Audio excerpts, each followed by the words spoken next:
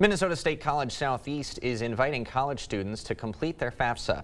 The event is designed to help any Winona area students struggling to complete the free application for financial aid. Advisors from nonprofits, Student Possible worked uh, one-on-one -on -one with students to properly complete that form.